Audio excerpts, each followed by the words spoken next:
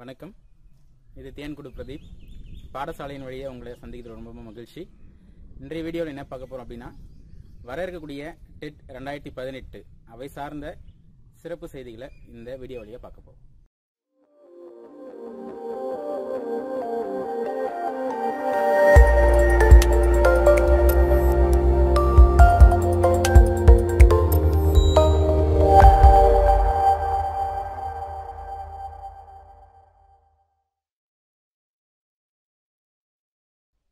நண்பர்களுக்கு வணக்கம். ரெண்டாயிரத்தி பதினெட்டு டெட். இப்போ இந்த டெட்டுக்கு எப்படி தயாராகலாம் டெட் அப்படின்னும் போது வந்து நிறைய வந்து இது வரைக்கும் வந்து விவாதத்துக்கு உள்ளாக்கப்பட்ட ஒரு த- இருக்கு. ஃபர்ஸ்ட் டெட் தேர்வு என்பது என்ன? அப்படின்னு நம்ம தெளிவாக தெரிஞ்சுக்கிட்டோம் அப்படின்னாலே விவாதங்கள் தவிர்க்கப்படலாம். என்ன அப்படின்னா டெட் என்பது ஒரு தகுதி தேர்வு. இது வந்து ஒரு பாஸ் அப்படிங்கிற ஒரு கிரிட்டீரியாவில் பாஸ் பண்ணவங்க எல்லாருக்கும் வேலை வாய்ப்பு கிடைக்குமானா கிடைக்காது. இது வந்து தகுதி தேர்வு. ஆசிரியருக்கு தகுதி அடையக்கூடிய ஒரு தேர்வு. ஸோ இந்த டெட்டை பொறுத்த வரைக்கும் நீங்க ஃபர்ஸ்ட் வந்து செலக்ட் ஆகும் அதாவது வந்து பாஸ் பண்ணணும். நமக்கு தெரியும் ஜென்ரல் ஓசி கேட்டகரிக்கு தொண்ணூறு மதிப்பெண்ணும் மற்ற கேட்டகரி எண்பத்தி ரெண்டு மதிப்பெண்ணும் எடுத்தா டெட்ல தேர்ச்சி. அப்ப எண்பத்தி ரெண்டு மதிப்பெண் எடுத்து தேர்ச்சி பெற்ற அனைவருக்கும் வேலை வாய்ப்பு கிடைக்குமானா? கண்டிப்பா கிடைக்காது. தெளிவாகவே சொல்லிடலாம். அந்த வருடத்திற்கான வேலை வாய்ப்பு அந்த வருடத்திற்கான காலி பணியிடம் எவ்வளவு இருக்கோ இப்ப இரண்டாயிரம் காலி பணியிடம் இருக்குன்னா இரண்டாயிரம் காலி பணியிடத்திற்கு தேவையான அதிகபட்ச மதிப்பெண் எடுத்த எடுத்த இரண்டாயிரம் முதல் இரண்டாயிரம் ஆசிரியர்களுக்கு மட்டுமே நமக்கு தேவையான வேலை வாய்ப்பு கிடைக்கும். ஸோ டெட் என்பது அடிப்படை தகுதி தேர்வு தான் எனவே வந்து இதில் வந்து குழப்பம் வேண்டாம். ஸோ நம்முடைய இலக்கானது மிக தெளிவாக இருக்கணும். என்ன அப்படின்னா அந்த முதல் இரண்டாயிரத்துக்குள்ளாக வரணும். இப்போ ஐஏஎஸ் தேர்வான எழுதுறாங்க அப்படின்னாக்க அறுபது வேக்கண்ட் எழுபது வேக்கண்ட் தான் இருக்கும். அதுக்காக போராடி படிப்பாங்க. அந்த அறுபதுல எழுபதுல உள்ள போயிடுவாங்க. தோல்வி அடைஞ்சா மறுபடியும் படிப்பாங்க. மறுபடியும் படிப்பாங்க. மூன்று வருடம் நான்கு வருடத்தில் பார்த்தீங்கன்னா ஐஏஎஸ் ஆயிடுவாங்க. அதே போல தான் டெட் தேர்வும்.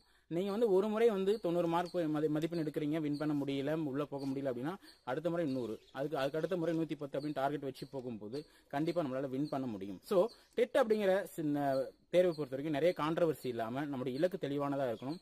நமக்கு தேவை அதிகபட்சமான மதிப்பெண். ஸோ அதிகபட்சமான மதிப்பெண் எப்படி பெறலாம்? ஃபர்ஸ்ட் வந்து பேட்டர்ன் தெரிஞ்சுக்கலாம். டெட்டை பொறுத்த இரண்டு தாள்கள் இருக்கு. Paper one one paper two paper one பொறுத்த வரைக்கும் என்னென்ன இருக்கு அப்படின்னாக்க டீச்சர் ட்ரைனிங் முடிச்சவங்க எழுதலாம். ஸோ டீச்சர் ட்ரைனிங் முடிச்சவங்க தமிழ் ஆங்கிலம் கணிதம் சூழ்நிலையில். நான்கு பாடம். இது இல்லாம குழந்தை உளவியல் ஒரு பாடம். மொத்தம் ஐந்து பாடங்கள்ல வந்து முப்பது முப்பது மதிப்பெண் டோட்டலா வந்து நூத்தி ஐம்பது மதிப்பெண். இந்த நூத்தி ஐம்பதுக்கு மேக்ஸிமம் எவ்வளவு மார்க் எடுக்க முடியுமோ அதை டார்கெட் பண்ணி போகணும். அதே மாதிரி பேப்பர் டூ பொறுத்த வரைக்கும் தாள் இரண்டை பொறுத்த வரைக்கும் ரெண்டு பேர்ட்டா பிரிக்கிறாங்க. ஒன்னு வந்து கணிதம் அறிவியல் மற்றொன்று சமூக அறிவியல். கணிதம் அறிவியல் பொறுத்த வரைக்கும் தமிழ் ஆங்கிலம் கணிதம் அறிவியல் உளவியல் ஐந்து பா- ஐந்து தலைப்புகளும். இரண்டு தாள் இரண்டிலே சமூக அறிவியல் பாடத்தலைப்பு பொறுத்த வரைக்கும் தமிழ் ஆங்கிலம் சமூக அறிவியல் மற்றும் உளவியல். மொத்தம் நான்கு தலைப்பு தான். இப்போ இந்த தாள்கள் பொறுத்த வரைக்கும் மிக தெளிவாக நம்ம டைம் டேபிள் போட்டு படித்தோம் அப்படின்னா நூற்றி பத்தில் நூற்றி இருபதில் நூற்றி முப்பது மதிப்பு நம்மளால் எடுக்க முடியும். ஸோ ஒவ்வொரு வருடமும் இந்த டெட்டை பொறுத்த வரைக்கும் க- வினாத்தாளானது கடினத்தன்மை மிக்கதாகவே இருக்குது ஸோ முறையான பயிற்சி முறையான தொடர் தொடர்ச்சியான உழைப்பின் காரணமாக கண்டிப்பாக டெட்டில் நம்மளால் வின் பண்ண முடியும். ஸோ என்ன செய்யலாம்? ஸோ ப்ரீ பிளான் இருக்கணும். அப்போ இந்த வருடம் பொறுத்த வரைக்கும் நமக்கு ஏற்கனவே தெரியும் சிலபஸ் மாறப்போகுது. முதல் வகுப்பு ஐந்தாம் வகுப்பு ஒன்பதாம் வகுப்பு மற்றும் பதினோராம் வகுப்பு சிலபஸ் மாற ஸோ நமக்கு அடிஷ்னலாக ஃபோர் புக்ஸ் கிடைக்கும். இந்த வருடம் நம்ம கூடுதலாக கவனிக்க வேண்டியது புத்தகம் பாடத்திட்டம் மாறப்போகுது. முதல் வகுப்பு ஆறாம் வகுப்பு ஒன்பதாம் வகுப்பு பதினோராம் வகுப்பு. இந்த நான்கு வகுப்புகளுக்கும் புதிய புத்தகங்கள் உருவாக்க போறாங்க. பாடத்திட்டங்கள் உருவாகிருக்க வரக்கூடிய ஜூன் மாதத்தில் கையில் கொடுக்க போறாங்க. ஸோ கூடுதலாக இந்த நான்கு பாட புத்தகங்கள் நம்ம அடிஷனலாக படிக்கணும். ஸோ பழைய புத்தகங்களை விட்டுலாமா கண்டிப்பாக விடக்கூடாது. இரண்டு இரண்டுமே படிக்கணும். எதுனாலும் கேள்விகள் இடம்பெறலாம். அதுக்கு அடுத்து பார்த்தீங்கன்னா எதுலேருந்து எது வரையும் படிக்கலாம்? முதல் தாள் பொறுத்த வரைக்கும் ஐந்தாம் வகுப்பு வரையும் இரண்டாம் தாள் பொறுத்த வரைக்கும் எட்டாம் வகுப்பு வரை அப்படின்னு சொல்லிட்டு முதல் டேட்டில் சொல்லியிருந்தாங்க. ஆனால் அது கிடையாது. கண்டிப்பாக வந்து எட்டாம் வகுப்பு வரை படித்தோம் அப்படின்னா நம்மளால என்ன பண்ண முடியாது அப்படின்னா முழுமையான மதிப்பெண் இடம் எடுக்க முடியாது. கண்டிப்பாக பன்னிரெண்டாம் வகுப்பு வரை மிக தெளிவாக படிச்சிருக்கணும். அதே மாதிரி பார்த்தீங்கன்னா தாள் ஒன்றை பொறுத்த வரைக்கும் பத்தாம் வகுப்பு மிக தெளிவாக படிச்சிருக்கணும். ஸோ நம்முடைய டார்கெட் ரொம்ப ரொம்ப கரெக்டாக இருக்கும் இலக்கு வந்து சரியானதாக இருக்கணும்.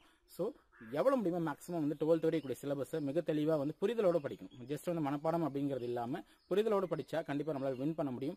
தமிழ் பொறுத்த வரைக்கும் இலக்கணம் அப்படிங்கிற பல தலைப்பில் ரொம்ப ரொம்ப கிரிட்டிக்கலான விஷயங்கள் வந்து செய்யுள் தலைப்பு கொடுத்து இலக்கணம் கொடுத்து நமக்கு கடினமான கொஷின் கொடுக்கும்போது நமக்கு கொஞ்சம் இடர்படுறோம் ஸோ இலக்கணத்தை சரியாக பார்க்கலாம். அதுக்கடுத்து ஆங்கிலம் பொறுத்த வரைக்கும் ஜஸ்ட் வந்து சிம்பிளான கிராமர்ஸ் தான் கொடுக்குறாங்க. இருந்தாலும் நம்ம வந்து ஆங்கிலம் பகுதி எப்பவுமே புறந்தள்ளியே வைத்துட்டு இருக்கோம். ஆனால் கண்டிப்பாக ஆங்கிலம் வந்து பாடப்புத்தகங்கள் சார்ந்து கிராமர்ஸ் பார்க்கும்போது கண்டிப்பாக அதிலே முப்பது மதிப்பெண் சாத்தியமே அதுக்கடுத்து கணிதம் பொறுத்த வரைக்கும் கண்டிப்பாக ஆப்டிடியூட் கொஷின்ஸ் தான் கேட்குறாங்க ஸோ ஆப்டிடியூட் ரிலேட்டடான கொஷின்ஸ் வந்து என்னென்ன தலைப்பு இருக்கோ அவை சார்ந்து நிறைய கொஷின் சால்வ் பண்ணி பார்க்கணும். அதுக்கடுத்து அறிவியல் பொறுத்த வரைக்கும் பாடத்திட்டம் தெளிவாக படிக்கணும். Last year TET question paper பார்த்தீங்க அப்படின்னா பதினோராம் வகுப்பு பன்னிரெண்டாம் வகுப்பு கண்டிப்பாக அதில் கேள்விகள் இடம்பெற்றிருந்தது. அப்போ பதினொன்று பன்னிரெண்டு பார்க்கணும். சமூக அறிவியல் பொறுத்த வரைக்கும் லெவன்த் ஹிஸ்ட்ரி டுவெல்த் ஹிஸ்ட்ரி கண்டிப்பாக படிச்சிருக்கணும். ஸோ டுவெல் வரையும் கண்டிப்பாக நம்மளுடைய சிலபஸை கவர் பண்ணால் மட்டுமே நம்மளால் வின் பண்ண முடியும். மறுபடியும் மிக தெளிவாக சொல்லிக்கிறோம். டெட்டை பொறுத்த வரைக்கும் நண்பர்களே மற்றவர்களுடைய கருத்துக்களை கேட்காதீங்க. ஏன்னா நிறைய பேர் வந்து நம்மளுடைய தன்னம்பிக்கை உடைக்கிறதுக்கான கருத்துக்கள் நிறைய பேர் கூறுவாங்க. டெட்டில் படித்தா வேலை வேலை கிடைக்காது அப்படின்னு சொல்லுவாங்க. நமக்கு வந்து வாய்ப்புகள் தான் முக்கியம். வாய்ப்புகள் நமக்கு கிடைக்கும்போது அதை பயன்படுத்தி மேலே ஏறதான் பார்க்கணும்.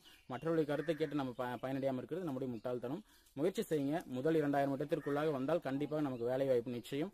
முயற்சி பண்ணுங்க. இந்த டெட்டுக்கு படிக்கக்கூடிய விஷயமானது கண்டிப்பாக டிஎன்பிஎஸ்சிக்கு உதவும். மற்ற போட்டித் தேர்வுகளுக்கும் பயன்படும். ஸோ டெட்டை நோக்கி பயணிப்போம். மிக விரைவாக அரசு பணிக்கு வர அனைவருக்கும் வாழ்த்துக்கள். ஏதேனும் சந்தேகம் இருந்தால் வீடியோவில் கமெண்ட்ல கேளுங்க. கண்டிப்பாக அதுக்கான நிவர்த்தி கொடுக்கப்படும்.